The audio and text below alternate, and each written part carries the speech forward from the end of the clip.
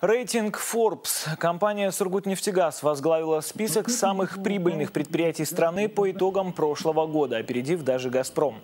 Такую версию изложили аналитики одного из наиболее авторитетных и известных экономических изданий в мире. Прибыль акционерного общества превысила 740 миллиардов рублей. На втором месте в списке Forbes Норильский никель, заработавший 264 миллиарда. Замыкает тройку Роснефть.